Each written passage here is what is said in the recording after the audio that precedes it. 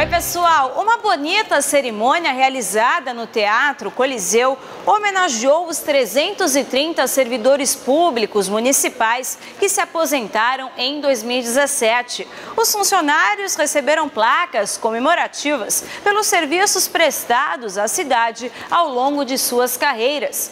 A CET inicia na próxima segunda-feira a Operação Verão Trânsito Seguro, temporada 2017-2018, incentivando a participação de motoristas e pedestres. A CET vai realizar ações de mobilidade e segurança no trânsito. A operação vai até o dia 14 de fevereiro.